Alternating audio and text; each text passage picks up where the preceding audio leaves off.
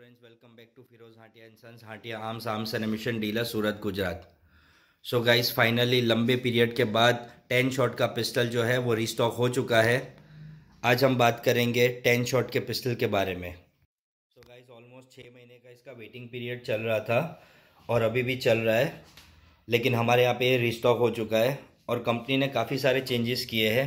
जैसे कि मैं आपको बता सकता हूँ ये जो ग्रिप है ये पहले कुछ इस तरीका का ग्रिप आता था और अभी ये लोग ने ग्रिप जो है वो उसको चेंज कर दिया है। फिनिशिंग वगैरह भी काफ़ी सारी चेंजेस की हुई है। आप देख सकते हो, काफ़ी इम्प्रूवमेंट किया है और ऑलमोस्ट जो पुराने प्रॉब्लम्स आते थे वो सारे सॉल्व भी कर लिए हैं। चलिए हम इसके स्पेसिफिकेशन के बारे में बात करते हैं। ये उसका कैटलॉग है मैनुअल जिसको बोलते हैं। ये बत्तीस बोर का पिस्टल है ऑलमोस्ट सेवन ट्वेंटी ग्राम्स का पिस्टल रहेगा आपका वज़न के अंदर। ये हमारा पिस्टल है। ये टेन शॉट रहेगा और 25 मीटर का मारा करता है। ये 720 ग्राम्स का पिस्टल है। तो जो लोग सोचते हैं कि काफ़ी वज़न में रहेगा मेटल का है तो वैसा नहीं है। वज़न में हल्का ही है। सो so गाइस चलिए वेपन देख लेते हैं कैसा है। तो ये इस तरीके से कुछ दिखता है। ये पुश बटन है। पुश बटन से ओपन हो जाता है। टेन शॉट का मैग है इसका। ये लोड हो चुका है। ये सेफ्टी लॉक है अपना।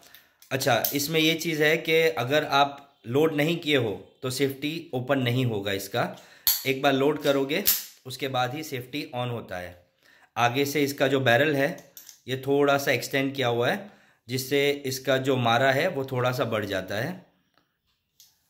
ये ग्रिप जो है, हमने चेंज की है। एक्चुअल कंपनी का जो ग्रिप है, वो इस तरीके से आता है। और गाइस इसके आप ट्रिगर के ऊपर देख सकते हो हल्का सा डिज़ाइन बनाया हुआ है। और जब आप, ये आप देख सकते हो, यहाँ पे जो फ़िलहाल पीछे का जो पोर्शन है, वो फ्लैट था। जैसे इसको लोड किया, वो हल्का सा पॉपअप हुआ है। रुके, मैं आपको वापस दिखाता हूँ।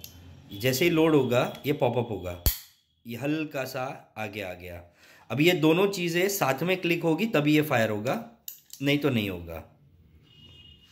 और प्लीज़ गाइस इसको एम फायर मत कीजिए। आपके जो भी वेपन्स है, उसको कभी भी एम फायर मत कीजिएगा आप। और कितने लोगों को ये शिकायतें रहती है कि पिस्टल जो है पिस्टल के अंदर प्रॉब्लम आता है पिस्टल जो है, वो ठीक से चलता नहीं है पिस्टल के अंदर कार्टेजेस फंसते हैं। तो हम बताते हैं कि पिस्टल के अंदर कार्टेजेस क्यों फंसते हैं। सबसे पहला जो प्रॉब्लम रहता है मिस फायर जो हम कहते हैं। उसके अंदर जो कार्टेजेस जो होते हैं अगर आपके पुराने हो गए डिफेक्टिव हो गए तो उस वजह से आपके कार्टेजेस जो है वो फंसते हैं। दूसरा फायर करने के बाद आप उसको ठीक से साफ़ सफ़ाई नहीं करते हो। साफ़ सफ़ाई करना ज़रूरी है। अगर आप साफ़ सफ़ाई नहीं करोगे तो कार्टेजेस उसमें फंसेगा ही फंसेगा। उसके अलावा कई बार आपकी जो इजेक्टर है, उसकी स्प्रिंग वगैरह डैमेज हो जाती है तो उसकी वजह से भी कार्टेजेस फंसते हैं। तो वेपन जो है, उसका संभाल करना चाहिए, उसको टाइम टू टाइम क्लीन करना चाहिए। सो so गाइज़ ये था एक क्विक रिव्यू बत्तीस बोर टेन शॉट पिस्टल का। अगर आपको लेना हो तो आप हमारी वेबसाइट पे जा सकते हो। दिए गए नंबर पे आप कॉल कर सकते हो मैसेज कर सकते हो।